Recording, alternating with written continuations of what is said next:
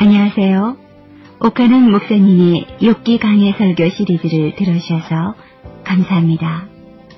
오늘은 네 번째 시간으로 욕기 2장 1절에서 10절을 중심으로 남편의 불행, 아내의 슬픔이라는 제목의 말씀을 들으시겠습니다. 먼저 제가 본문을 읽어드리겠습니다. 또 하루는 하나님의 아들들이 와서 여호와 앞에 서고 사단도 그들 가운데 와서 여호와 앞에 서니 여호와께서 사단에게 이르시되 내가 어디서 왔느냐 사단이 여호와께 대답하여 가로되 땅에 두루 돌아 여기저기 다녀왔나이다.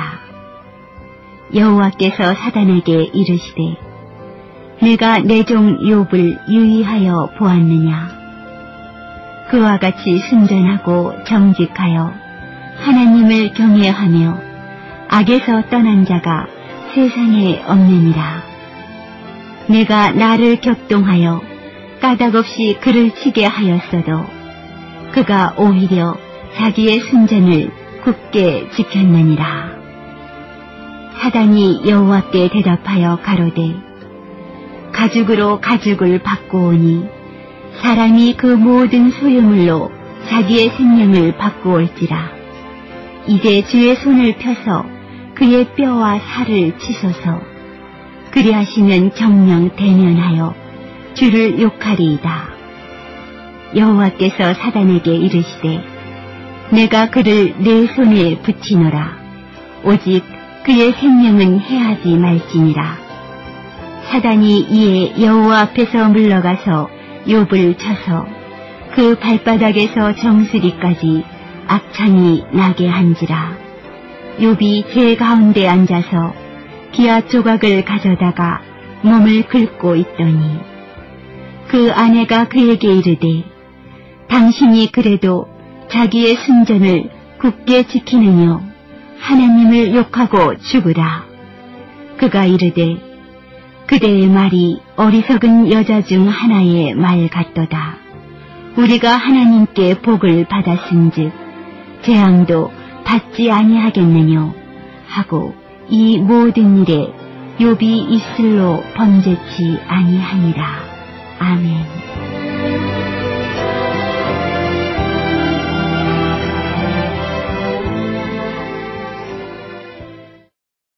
세상을 어지간히 살아본 사람들이 흔히 하는 말이 있습니다. 재물을 잃는 것은 적게 잃는 것이고 명예를 잃는 것은 많이 잃는 것이요 건강을 잃는 것은 전부를 다 잃어버리는 것이다 하는 말입니다. 뭐니 뭐니 해도 건강이 제일이라는 인생의 이 진리를 설명하는 말이 아닌가 생각을 합니다. 이 시간 우리가 읽은 말씀의 내용은 재산과 자식, 명예를 하루아침에 몽땅 잃어버린 욥이 마지막으로 남아있는 건강마저도 무참하게 빼앗겨 버리고 비참한 자리에 앉아서 탄식하고 있는 모습을 우리는 보게 됩니다. 하나님은 욥의 순전함, 즉 욥의 믿음이 얼마나 순수한가를 놓고 사탄과 제2라운드의 줄다리기를 지금 하고 있는 장면을 우리가 본문에서 봅니다. 하나님은 주장합니다. 욥의 믿음은 무조건적이다. 사탄은 여기에 대해서 맞습니다. 아니요. 그렇지 않습니다. 욥의 신앙은 조건적입니다. 아직도 건강하니까 하나님 하나님 하는 것이지 건강까지 다 없애버리시오. 그러면은 욥도 별 수 없이 하나님 믿지 아니할 것입니다. 이것이 사탄의 주장입니다. 하나님이 왜 이 사악한 사탄을 상대해서 누구 말이 옳은가를 놓고 시험을 하시는지 우리는 잘 모릅니다. 그건 뭐 도무지 알 수가 없어요. 하나님께서 밝히지를 않고 계시니까 모릅니다. 그러나 한 가지 우리가 분명히 알 수 있는 사실은 하나님의 판단이 선하고 옳았다는 사실이 반드시 드러나야 했다는 것입니다. 그리고 사탄의 주장이 얼마나 악의에 찬 거짓말이었는가가 천하에 공포되어야 했다는 사실입니다. 그리고 하나님이 욥을 통해서 영광 받으시는 모습을 사탄과 모든 영계의 세계에서 드러내 보일 필요가 있었다고 생각합니다. 이런 이유 때문인지 하나님께서는 사탄의 요구를 일단 받아들여서 욥에게 남아있던 건강까지 사탄이 원하는 대로 내어 주신 것을 봅니다. 5절에 보면 사탄이 하나님께 청을 합니다. 주의 손을 펴서 그의 살과 뼈와 살을 씻어서 하나님이 그 요구를 받아들였습니다. 그래서 6절에 여호와께서 사탄에게 이르시되 내가 그를 내 손에 붙이노라. 건강도 내 손에 붙인다. 마음대로 해봐라. 그렇지만 생명은 손대지 말라. 하나님께서 단서를 붙여서 허락하셨습니다. 7절에는 모아서 드디어 하나님의 허락을 받은 사탄이 욥을 쳤습니다. 하루아침에 욥은 비참한 병자가 되어버린 것입니다. 우리 주변에는 이 모든 병은 사탄이 주는 것이다. 마귀나 귀신이 일으키는 것이다 하고 주장을 하는 사람들이 꽤 많습니다. 그래서 영계가 퍽 혼란한 것도 우리는 부인할 수가 없습니다. 그렇지만 여기에 대해서 제가 오늘 이러니 저러니 하고 많은 이야기를 하고 싶지 않습니다. 하나님의 소유가 된 성도에게는 그 말이 통하지 않는다는 것을 꼭 믿으시기를 바랍니다. 믿습니까, 여러분? 하나님의 자녀가 아닌 자에게는 그 말이 해당될 수 있습니다. 사탄이 병을 가지고 사람들을 무참하게 괴롭히는 것을 우리는 많이 봅니다. 그러나 하나님의 소유가 된 사람, 욕처럼 하나님의 장중에 있는 사람은 모든 병이 귀신이 주는 것이 아니요 모든 병이 죄 때문에 오는 것이 아니라는 거 믿으시기를 바랍니다. 거기에는 하나님의 특별한 뜻이 배후에 있어요.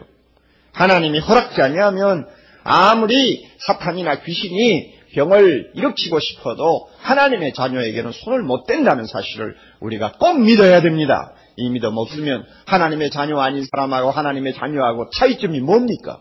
내가 하나님의 자녀라는 금지가 어디에 있습니까? 그러니 그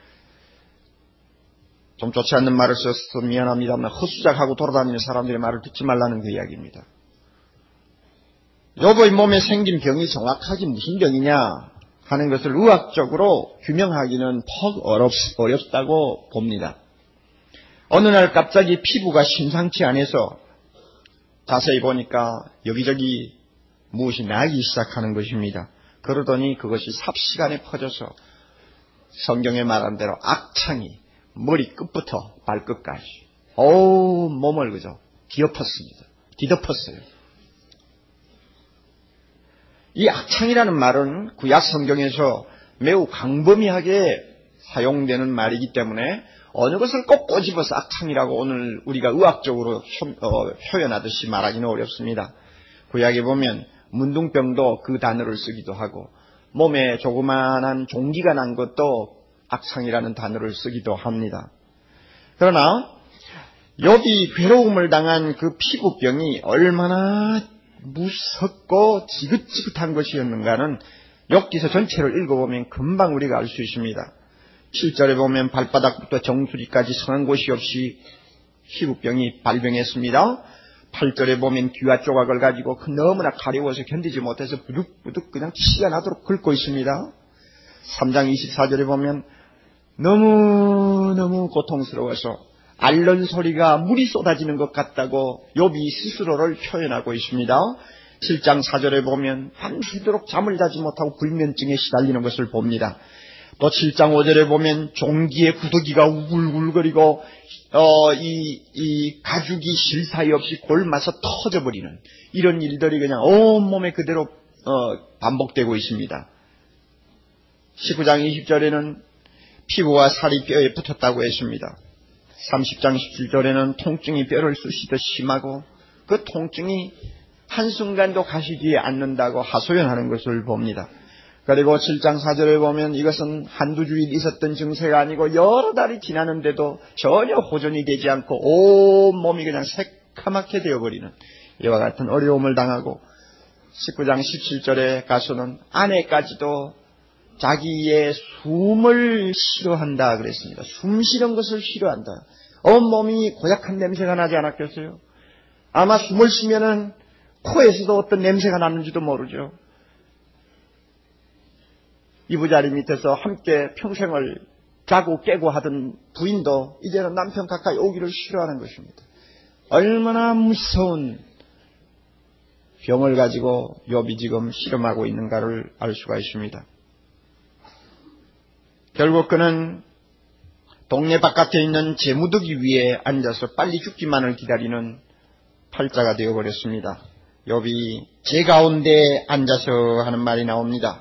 이 재는 뭐 우리가 잘 아는 불 떼고 나서 남은 그 어, 찌꺼기를 재라고 하지 않습니까?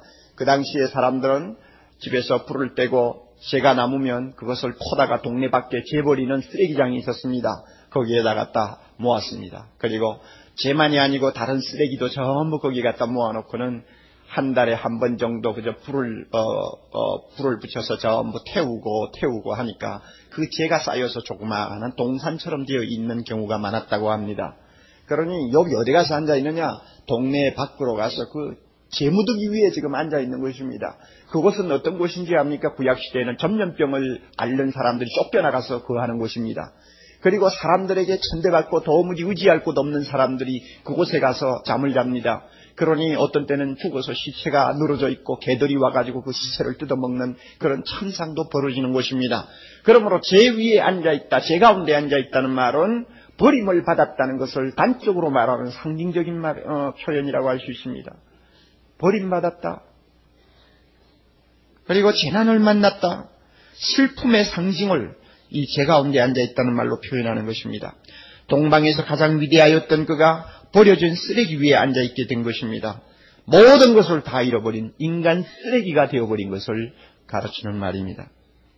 우리가 이 정도만 해도 욥이 어떤 처지에 지금 빠져 있는가를 어느 정도 짐작할 수 있다고 생각합니다.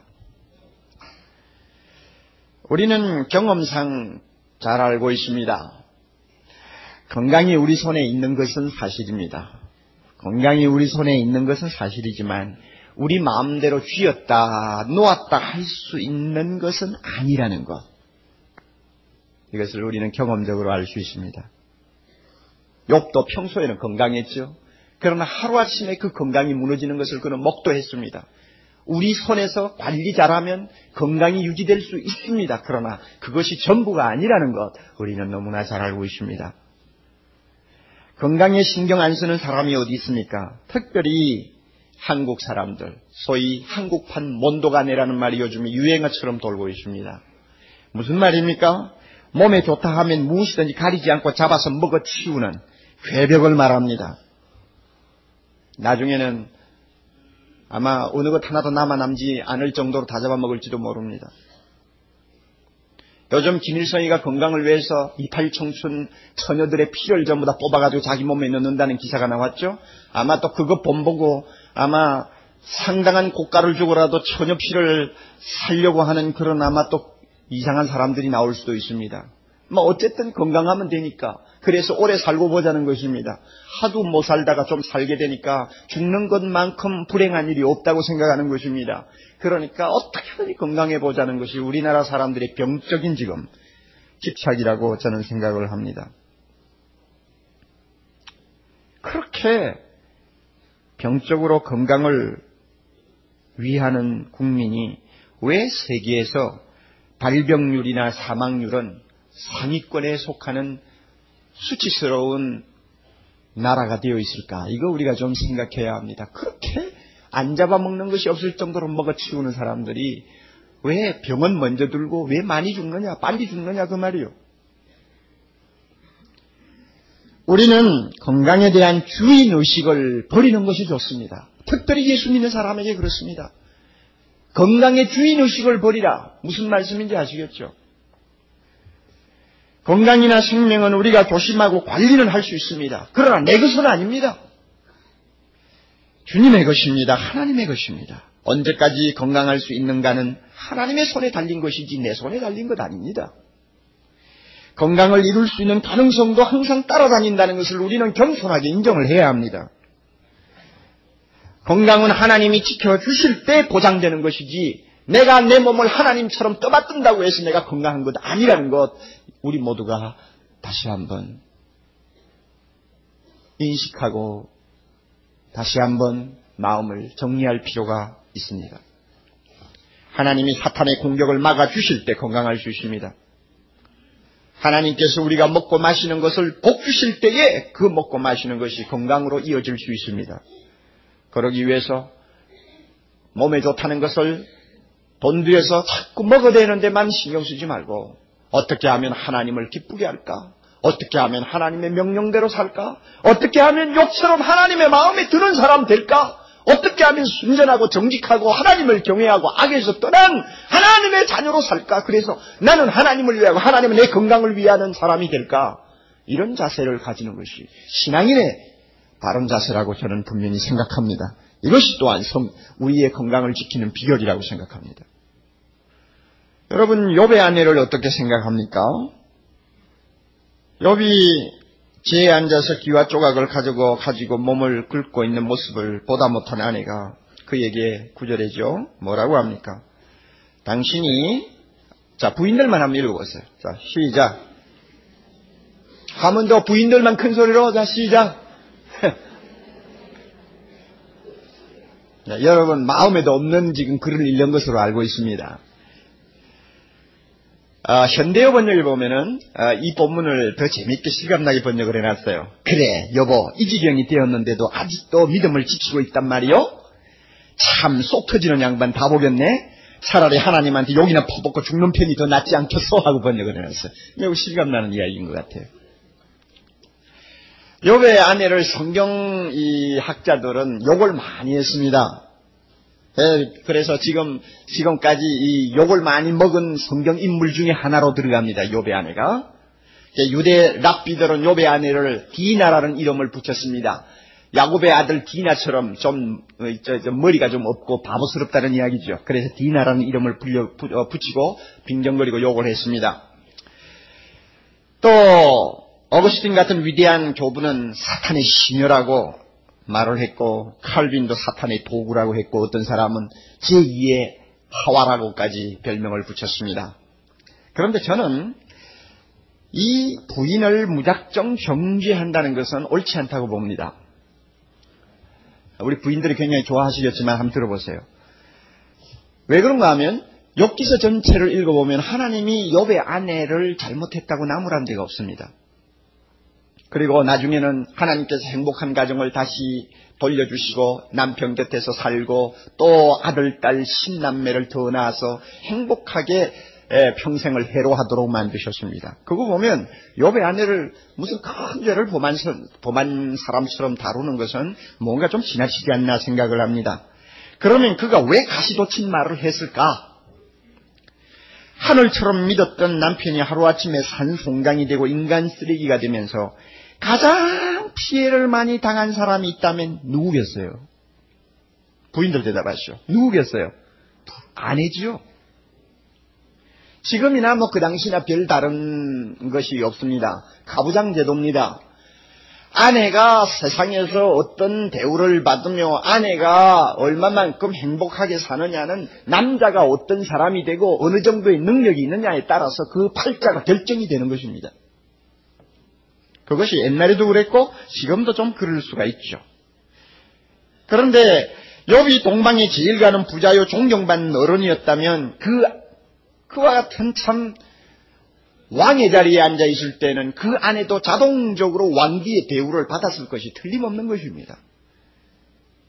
그러므로 남편이 한순간에 몰라가자 부인 되는 사람도 별 수 없이 같은 신세가 되어버린 것입니다.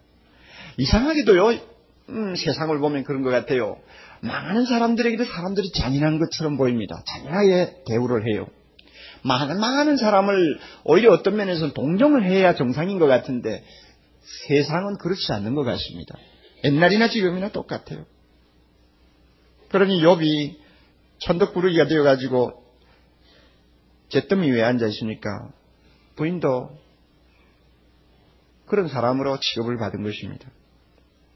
욥이 얼마나 천덕부르기가 되었는지 압니까? 19장 잠깐 넘어갑시다. 19장 제가 중요한 구절만 읽어드리겠습니다. 15절 내 집에 우거한 자와 내 계집 종들은 나를 외인으로 여기니 전혀 어, 이때까지 보지 못한 낯선 사람처럼 대우한단 말입니다. 내가 그들 앞에서 타국 사람이 되었, 되었구나. 16절 내가 내 종을 불러도 어떻습니까? 대답지 아니하니 내 입으로 그에게 청하여야 하겠구나. 그 다음에 18절 어린아이들이라도 나를 없이 여기고 내가 일어나면 나를 조롱하는구나. 나의 가까운 친구들이 나를 미워하며 나의 사랑하는 사람들이 돌이켜 나의 대적이 되었구나. 여러분 아시겠죠? 얼마나 천덕꾸리가 되었는지 알죠? 그러니 남자가 이렇게 천덕꾸리가 되었으니 그 아내가 무사할 리가 없지 않습니까? 더욱이 여배 아내는 자기의 자랑이요 기쁨이었던 십남매를 한순간에 몽땅 다 잃어버린 그야말로 비극적인 주인공이었습니다. 미쳐도 열 번은 미칠 수 있는 기막힌 비극을 당한 여자였습니다. 이런 마당에 그가 누구를 붙들고 하소연할 수 있습니까? 원망할 수 있습니까? 그 속에 가득한 한, 과 슬픔을 어디에다가 다 쏟아놓겠습니까? 남편 외에 누가 있겠느냐 그 말입니다. 남편 아니고 누구한테 그 마음에 있는 한을 다 풀어, 풀어서 쏟아놓겠습니까? 그래서 그런지 70인역 성경이라는 것이 있습니다. 구약 성경인데요. 거기에는 우리 성경이 없는 이런 말이 에, 삽입이 되어 있습니다. 제가 완전하게 번역을 하지 않았습니다. 대충대충 한 것인데 한번 들어보세요. 부인이 여백에 이제 하는 이야기입니다. 여보 언제까지 참고만 있어야 해요? 잠시는 참을 수 있지만 언제까지 이래야, 이래야, 이래야 할까요? 당신이 세상에서 기억할 만한 것들은 깡그리 없어지고 말았어요. 자식도 재산도 이제는 당신은 구더기가 기어다니는 몸을 가지고 제뜸 위에 앉아있고 나는 이 집 저집 이곳저곳을 돌아다니며 천대를 당하고 하루의 수고를 쉬고 쥐어 짜는 듯한 고통에서 놓이려고 해가 지기를 기다리는 이신, 이 신세가 무슨 몰골이에요.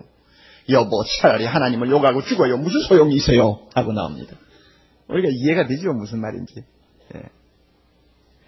그가 꼭 잘했다고 말하기는 어렵지만 그렇다고 여배 아내가 하나님을 버리고 타락한 여자가 되었다고 하는 주장은 지나치다는 이야기입니다. 사람이 자기가 주체할 수 없는 억장이 무너지는 일을 당하면 본심이 없는 말을 쏟아 놓을 수가 있습니다. 특히 아마 여자가 그럴지도 모릅니다. 불행한 사건 앞에서는 남자고 여자고 다 약해지기 쉽지만 약한 그릇인 여자 쪽이 정신적으로 받는 고통은 더 클 수밖에 없는 것입니다. 자기가 감당할 수 없는 큰 슬픔을 당하면 사람은 종종 자기 신앙에 대한 확신을 잃어버리게 됩니다. 내 신앙이 너무 현실적으로 거리가 멀었구나 하는 자책도 하게 됩니다. 그리고 슬픔에 빠진 사람에게는 하나님과 거리감이 굉장히 큰 것을 느끼게 됩니다. C.S. 루이스가 어, 이런 재밌는 말을 표현했습니다. 당신이 행복할 때 하나님 앞으로 나가보십시오. 그러면 하나님이 당신의 감사와 찬송을 받으시느라고 두 팔을 활짝 벌릴 것이요. 그러나 당신이 절망 상태에 빠져 있을 때 하나님 앞에 한번 나가보십시오. 어떻게 느껴지나? 당신의 코앞에는 차갑게 닫힌 문이 가로막을 것이요. 그 안에서 빗장거는 소리가 거듭거듭 들릴 것입니다. 이것은 뭐냐면 거리감이란 말이에요. 하나님이 나를 완전히 버리신 것 같은 거리감을 느끼게 된다는 말입니다. 요배 아내가 아마 이런 거리감, 이런 허탈감에 빠져서 허우거리면서 견디다 못해서 남편에게 본심에도 없는 말을 쏟아놓은 것이 아닌가 저는 그렇게 생각을 합니다. 요번 이상주의자였습니다. 그러나 그 안에는 현실주의자였던 것 같습니다. 그러므로 현실주의자가 뭡니까? 만약 요배 아내가 현실주의자였다면 그는 이렇게 생각했을 것입니다. 사탄이 생각한 것과 똑같아요. 믿음이 좋으면 복을 받는다. 공식으로 알고 있는 것입니다. 내가 하나님을 열심히 믿는 이상 절대 어려운 일은 안 생긴다. 재난은 절대 우리 가정에 임하지 않는다. 자식도 잘 될 것이요 남편도 형통할 것이다. 철저하게 현실적으로 그렇게 믿는 사람입니다. 그러므로 이런 현실주의자들은 아무 어려움이 없을 때, 뭐 예수 믿어서 망가지가 잘 된다 싶을 때 누구보다도 더 열심으로 봉사할 수 있고 열심으로 하나님을 부르고 섬길 수가 있습니다. 여비 아내가 그런 사람이 아니었나 그렇게 생각합니다. 그러나 막상 잘 믿는 것이 아무 소용이 없어 보이자 이 현실주의자의 믿음은 사정없이 흔들리고 맙니다. 아이들이 떼죽음 당하는 꼴을 보자 자기 남편이 하는 것들이 얼마나 어떤 면에서는 청승맞게 생각이 되었겠어요. 잔치 끝나고 나면 부리 부랴부랴 뛰어가가지고는 아이들을 다 세워놓고 애들이 행여나 죄를 범하지 않았나 두려워하면서 제사를 지내던 그 남편 그 당시에는 좋아 보였지만 애들이 한순간에 다 이렇게 재난을 맞아 없어지고 나니까 그때 그 일이 얼마나 어떤 면에서는 청승맞다 하는 생각으로 마음에 와 닿겠느냐 그 말입니다. 현실주의자는 일이 잘 안 될 때는 신앙이 순수하게 남아 있을 수가 없는 것입니다. 요배 아내가 이런 사람이 아니었나 저는 생각을 합니다. 그러므로 그가 심한 갈등과 분한을 자기의 작은 가슴에 묻어두기 두기에는 그 도가 너무나 지나쳤습니다. 그래서 본의 아니게 날마다 하나님 하나님 하더니 기껏 이 정도요 하고는 남편을 쏘아 부셨던 것 같습니다. 잠깐 동안 불행하게도 여배 아내는 사탄의 시녀가 된 것처럼 시험에 걸려든 것입니다. 사탄의 노린, 노린 것이 무엇입니까? 건강이 이러면 하나님도 필요 없다 그거 아닙니까? 건강하니까 하나님 하나님 하는 것이지 병들어 봐라 하나님이 무슨 소용이 있냐 하는 것이 사탄의 주장이었죠. 불행하게도 요배 아내는 그와 같은 사탄의 판단에 그냥 적중하는 사람이 되어버렸어요. 현실주의자는 그렇게 되기가 쉽습니다. 목회를 하면서 보면 여자가 남자보다 더 현실주의자가 되기 쉽다는 것을 가끔 봅니다. 부인들은 좀 불쾌하겠지만은 사실인 것 같아요. 왜 뭘 보고 하느냐 하면 종종 보면은 부인보다도 남편이 훨씬 믿음이 좋은 경우가 많이 있습니다. 더 열심이고 더 순수하고 더 적극적이고 더 희생적이고 남편이 이렇게 별나게 신앙생활을 하면은 부인들은 은근히 불안해합니다. 아니면 아니라고 소리치시오. 그렇죠. 은근히 불안해해요. 그리고 거부 반응을 일으킵니다. 저는 그런 경우를 여러 번 봤는데 이미 뭐 우리 우리 여러분 우리 여러분들에게 다 알려진 사실이니까 어, 제가 예를 하나 들죠. 이것은 꼭 그런 경우가 아니고 제가 추측하는 경우를 이야기하는 것입니다. 우리 집에 한번 발표된 것이죠. 어, 차모 집사님 부부입니다. 그 차집사님은 구청 어, 공무원입니다. 구청에서 일하는 공무원입니다. 너무 은혜를 많이 받아가지고 좋아서 그 뭐 구청 공무원 그 월급이 얼마 되겠어요? 뭐 박봉이나 다름이 없는데 그거 받아가지고는 집에다 고스란히 갖다 주는지는 모르지만 하여튼 전도하느라고 빼쓰고 주일학교 가르치면서 애들 선물 사주고 뭐 카드 보낸다고 빼쓰고 뭐 이래 쓰고 저래 쓰고 돈을 썼어요. 그렇다고 해서 무슨 적당 적당히 해가지고 부수입이 생기는 것도 아니고 그래서 받는 그대로 받아서 쓰니까 믿지 않는 과장이 볼 때 너무 민망했던 것 같습니다. 그러니까 하루는 이 차집사를 불러놓고는 아이 당신 대체 어떻게 사요? 하고 물었습니다. 11조 뗀다 헌금한다 그리고는 뭐 여기 쓰고 저기 쓰고 돌아다니면서 또 구청 안에서 신우회 한다고 뭐 다니면서 또 돈 쓸 거 돈 쓰고 그러니까 어떻게 사느냐 묻더래요. 그러니까 이 차집사 대답이 넉넉합니다. 500만 원 받으면 500만 원에 맞추어 살고 50만 원 받으면 50만 원에 맞추어 사니까 뭐 넉넉하지요 하고 대답했답니다. 그런데 그 다음에 나오는 말이 중요한 거예요. 나는 있는 대로 이야기하는 거죠. 사실 아내는 처음에 힘들 매우 힘들었다고 고백했다는 것입니다. 처음엔 대단히 힘들었다. 지금은 지금은 아내가 오히려 앞장설 정도로 남편보다도 더 아름답게 생활하고 있습니다만 남편이 너무 그렇게 극성이니까 처음에는 매우 힘들었다고 어, 아내가 실토를 했다는 것입니다. 제가 가만히 생각하니 옳은 말이야. 분명히 남편이 그 정도로 미치면 좋아할 여자가 아마 별로 없을 거야. 예, 남편의 신앙이 더 좋아질수록 불안해지는 것이죠. 저러다가 저 사람 저거 어떻게 될까? 여배 아내에게 이런 약간의 끼니가 있었다는 것을 우리는 인정해야 합니다. 현실주의자는 이런 약점이 있습니다.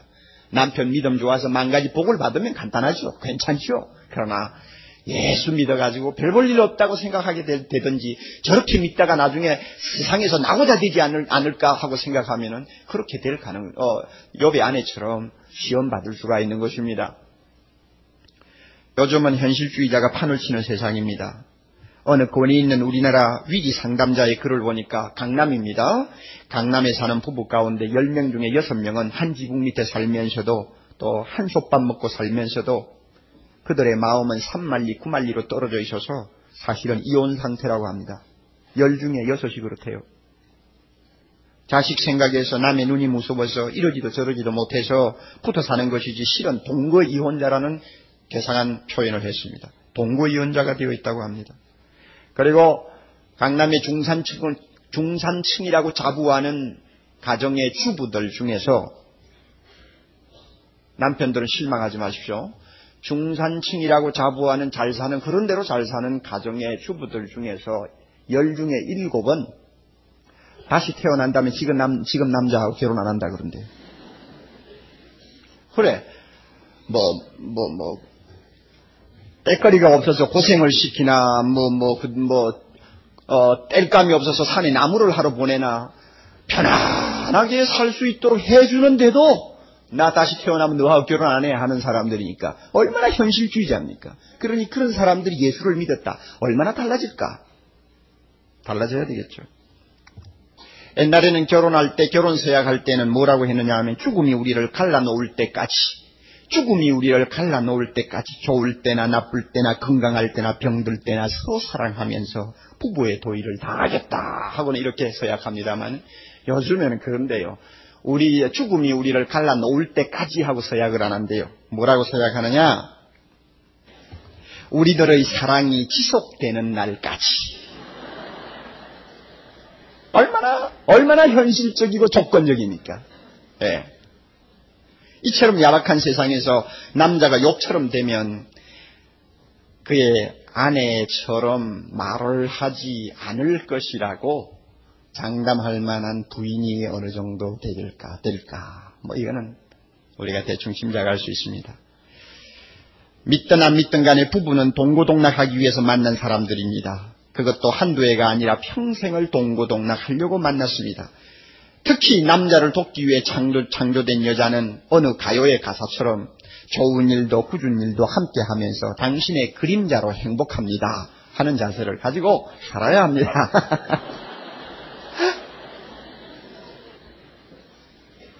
그러므로 여러분, 교회를 다녀도 잘못하면, 잘못하면, 잘 믿어 손해보지 않으니까 잘 믿는 사람이 되기 쉽다는 이야기입니다. 이건 남자들도 다 마찬가지요. 잘 믿는 거 다 이유 있다 하는 사탄의 말에 딱 맞아 떨어질 수 있는 사람이 될 수 있다는 것을 우리는 알아야 합니다. 이 시간 성령께서 우리 마음을 다시 한번 정리하셔서 이렇게 현실주의자의 신앙생활 하지 않는 사람으로 다시 바꾸어 주시기를 바랍니다. 절망에 빠진 요백에는 아내가 마지막 남은 위로요 또 소망이었을 것입니다. 여러분 잘 알아두십시오. 너나 나나 없이 남자들은 위기를 당하면 본능적으로 모성을 찾습니다. 나이가 아무리 들어도 마찬가지라고 저는 봅니다. 그 모성을 느끼게 하는 품이 어디냐면 부인입니다. 어려울 때 아내를 하나님처럼 기대하려고 하는 이 본능이 있어요. 이럴 때 아내의 한마디 한마디가 사람을 살리기도 하고 죽이기도 합니다. 재산이 다 날아가고 심지어 병이 들어 누워 있어도 아내가 위로하고 슬픔을 함께 나누기를 자원하고 주저하지 아니하면 그 남자는 숨을 쉴 수가 있습니다. 그래도 꿈을 버리지 아니할 수 있습니다. 절망하지 아니할 수 있습니다. 고통은 나누면 반으로 줄고 기쁨은 나누면 배가 된다고 하는 말은 이런 부부 안에서는 부부 사이에서는 절대적인 진리라고 저는 생각합니다. 그러므로 요배 아내가 비록 홧김에 쏟아버린 말이라 할지라도 요배에게는 대단히 충격이 되었을 것입니다. 어떤 면에서는 요배 순전한 믿음이 휘청거렸을지도 모릅니다. 여러분 진정한 아내라면 어, 남편의 그 믿음의 순진함을 공유할 수 있어야 합니다. 다시 말하면 남편의 믿음과 똑같은 믿음을 가져야 된다는 말입니다. 내 남편이 옆처럼 믿음이 좋습니까? 그러면 나의 믿음도 그와 같은 믿음을 가져야 됩니다. 그래야만이 남편의 어려움도 함께 짊어지는 사람이 될 수 있습니다. 남편이 예수 바로 믿으려다가 사회에서 바보가 되면 아내도 함께 바보가 될 수 있어야 합니다. 남편이 의롭게 처신하려다가 손해를 보았으면 그 아픔을 기쁨으로 자진해서 함께 짊어지고자 하는 아내가 되어야 합니다. 예수 잘 믿어 돌아온 게 뭐냐는 식의 현실주의자가 되면 안 됩니다. 부부는 서로의 영혼을 해치는 사람이 되면 안 됩니다. 서로의 믿음의 순수성을 시험하는 시험거리로 마귀에게 사용되면 안 됩니다. 이런 면에서 요배 아내를 우리가 동경하면서도 한면으로는 좀 섭섭하다는 감정을 우리가 지울 수가 없습니다. 우리 중에 한 사람도 이런 여배 아내와 같은 사람이 되지 않기를 바랍니다. 물론 여러분의 남편이 옆처럼 되는 일은 없을 것입니다. 장담합니다. 없습니다. 이거는 여배 경우는 특별한 경우예요. 이건 하나님께서 무엇인가 우리에게 보여주기 위한 하나의 샘플로 특별히 취급하신 것이기 때문에 우리에게 이런 일들이 일어난다고는 절대 있을 수 없습니다. 하나님 허락지 않습니다. 하루아침에 뭐 신남에 다 쓸어 가시고 뭐 집안 다 그냥 뒤집어 엎는 이런 일을 하나님이 하시잖아요. 그러나 만에 하나라도 남편이 좀 실패했다든지 건강이 좀 나빠졌다든지 해서 과거의 그 화려하고 아름다웠던 꿈이 한순간에 산산조각 나는 허탈감에 빠졌을 때 사랑하는 아내들이요. 여배 아내처럼 하지 마십시오. 여러분의 믿음은 순수해야 합니다. 여배 단호한 신앙 자세를 우리는 마지막으로 잠깐 주목하고 성경을 덮어야 하겠습니다. 10절입니다. 이거는 남자가 큰 소리를 하면 읽어야 되겠어요. 10절. 우리 남자들이 큰 소리를 읽읍시다. 시작. 아멘. 집에 가셔서 부인은 9절을 읽으라고 그러고 남편은 10절을 읽으십시오. 서로 쳐다보고. 또 바꾸고 해도 됩니다. 여기서 남자, 어, 이 남편이 부인을 보고 이 어리석은 여자 중에 하나처럼 말하는구나 한 이것은 그 자기 아내를 어리석은 자라고 말하는 것이 아닙니다. 쌍놈 집안의 아낙네, 어, 아낙네처럼 아낙네의 하나처럼 말을 한다는 그저 어떤 면에 실망했다는 자기 감정의 표현이라고 볼 수 있습니다. 자기 아내를 어리석은 자라고 욕하는 것 아닙니다. 우리는 하나님에 대한 욥의 순수한 신앙 자세에 정말 감탄을 금할 수가 없습니다. 그의 말과 태도에는 좋은 것이든 나쁜 것이든 하나님이 주신 것은 다 감사로 받아야 한다는 믿음이 반짝이고 있습니다. 인간이 한평생 복, 만 받겠다는 것은 철없는 생각이다. 하나님이 원하시면 복도 받을 수 있고 재앙도 받을 수 있다. 천하가 무너져도 하나님을 원망해서는 안 된다. 아내가 등을 돌리고 뭐라고 하든 하나님은 배반할 수 없다고 하는 아름다운 신앙의 자세가 신앙의 자세가 거기에서 우린 엿볼 수 있습니다. 이것이 욥이 가진 신앙의 순수성입니다. 정직한 신앙이었습니다. 무조건적인 신앙이었습니다. 고통이 극심하면 만사가 다 불확실하게 보이고 혼돈 속에 파묻힙니다. 잘 풀릴 것 같이 보일 만한 어떤 보증이 전혀 나타나지 않습니다. 이럴 때일수록 우리는 믿음이 더 중요함을 알아야 합니다. 욥의 처지와 같은 경우에 빠지는 사람일수록 믿음은 더 중요합니다. 폴 두루니에가 한 말이 진립니다. 의심의 여지가 전혀 없는 곳에서는 믿을 기회도 더 이상 없다. 의심의 여지가 전혀 없는 곳에서는 믿을 기회도 전혀 없다. 더 이상 없다. 그러므로 어떤 경우에 믿음이 필요하냐? 만 가지가 의심할 수밖에 없는 혼돈 속에서 믿음이 비로소 필요하다는 것입니다. 바로 욕과 같은 사면 초가의 상황에서 순수한 믿음은 더 중요하고 필요하다는 것입니다. 이런 순수한 믿음을 욥이 끝까지 갖고 있었기 때문에 하나님은 욥을 실망시키지 않았습니다. 자기가 아니면 아무도 붙들어 줄 자가 없는 사람을 하나님은 책임지십니다. 그래서 욥기서 5장 18절 19절의 말씀이 욥에게 그대로 그대로 해당되는 말씀이라고 할 수 있습니다. 하나님은 아프시게 하다가 싸매시며 상하시게 하시다가 그 손으로 고치시나니 여섯 가지 환란에서 너를 구원하시며 일곱 가지 환란이라도 재앙이 내게 미치지 않게 하실 것입니다. 아멘. 그 말씀대로 하나님은 욥에게 대접하셨습니다. 사랑하는 형제자매 여러분, 우리는 어떤 사람이 되어야 하겠습니까? 욥이 되고 싶습니까? 욥의 아내가 되고 싶습니까? 우리를 놓고 하나님 앞에서 우리를 놓고 하나님께서 사탄 앞에 사탄 하나님께서 사탄 앞에 장담을 할 수 있는지 우리가 한번 생각해 보아야 합니다. 누구 누구를 보라 하고 하나님이 장담할 수 있을 만큼 우리의 믿음이 순수합니까? 예수 믿어 손해볼 것 없으니 열심히 믿는 현실주의자, 공리주의자, 실리주의자가 아닌지 우리 자신을 다시 한번 돌아보아야 하겠습니다. 우리는 욥의 아내처럼 되면 안 됩니다. 욥처럼 신앙에 있어서 많은 이상주의자가 됩시다. 복이 와도 화가 와도 건강에도 병이 들어도 오직 사랑하는 하나님, 사랑하는 예수님만이 나의 자랑이요 찬송이요 기쁨이요 나의 복이 되는 순수한 믿음의 소유자가 됩시다. 하나님께서 이런 믿음을 오늘도 요구하고 계십니다. 다 같이 기도하겠습니다. 당신은 욥입니까? 욥의 아내입니까? 당신은 다 예수 믿는 것 이유 있다 하고 주장하는 사탄에게 딱 맞아 떨어지는 사람입니까? 아니면 하나님이 마음 놓고 자랑할 수 있는 사람입니까? 하나님이 당신의 신앙은 신앙의 순수성을 의심할 만한 구석이 없는지 우리 모두가 한번 다시 살펴보아야 합니다. 그리고 이 중에서 남이 모르는 고통과 좌절을 안고 있는 형제자매들 여러분의 형편이기 때문에 요배 신앙이 필요합니다. 하나님께서 여러분의 믿음을 점검처럼 단련시켜 주시는 귀한 시간 되기를 바랍니다. 조용히 여러분 한 목소리로 기도해 보십시오. 나는 욥입니까? 욥의 아내입니까? 하나님 앞에 진지하게 한번 물어보십시오. 별관에서 예배 드리시는 분들도 마찬가지입니다. 진지하게 한번 물어보십시오. 하나님이 뭐라고 하시는가? 그리고 조금이라도 마음에 가책되는 것이 있으면 주여 이 시간 성령의 능력으로 나의 믿음을 욥의 신앙으로 바꾸어 주시옵소서 기도하시기 바랍니다. 다 같이 기도합니다. 거룩하신 하나님 아버지 오늘 주신 말씀을 마음에 담고 다시 한번 머리 숙여 기도하오니 주여 우리의 믿음의 불순물을 제거해 주시기를 원합니다. 행여나 만에 하나라도 요배 아내처럼 현실주의자가 되어서 상황이 바뀌면 하나님도 하나님도 안중에 없는 것처럼 말하고 떠드는 사람 될까 두렵습니다. 우리 그런 사람 되지 않게 다시 한번 은혜를 주옵소서. 욥처럼 건강할 때나 병들 때나 형통할 때나 공부할 때나 세상이 어떻게 되든 오직 사랑하는 하나님, 사랑하는 주님만이 내 가슴에 남아있는 아름다운 믿음의 사람들로 우리 모두를 다시 한번 바꾸어 주옵소서.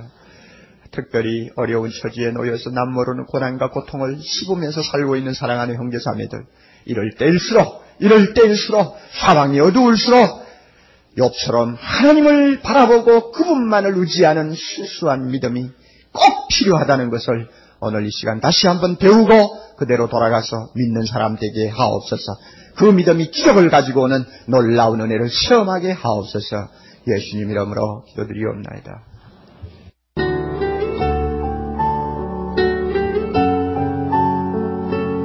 생명의 샘은 출판과 테이프, 영상, 인터넷 등의 가능한 모든 매체를 통해 생수와 같은 은혜의 말씀을 나누는 사랑의 교회 미디어 선교사역입니다. 이 테이프를 들으시고 하나님의 말씀에 대해 더 깊이 알기를 원하시는 분은 생명의 샘으로 연락해 주시면 여러분을 성심껏 도와드리도록 하겠습니다. 감사합니다.